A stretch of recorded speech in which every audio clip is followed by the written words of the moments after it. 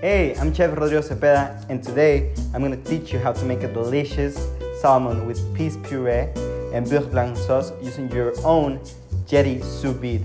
Let's learn how to make it.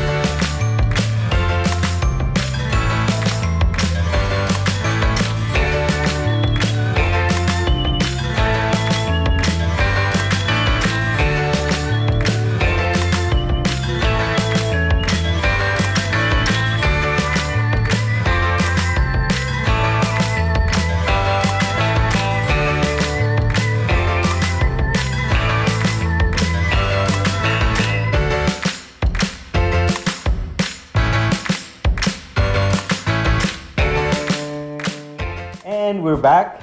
We just learned how to make an amazing salmon with peas puree and beurre blanc sauce with our amazing Yedi sous.